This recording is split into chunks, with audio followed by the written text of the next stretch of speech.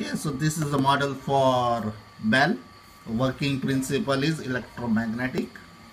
So this is the battery uh, positive goes to solenoid and negative goes to this hammer and other end of solenoid goes to the other end of hammer.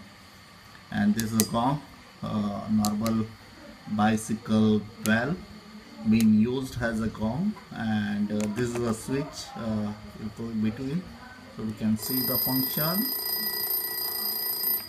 That's all. Thank you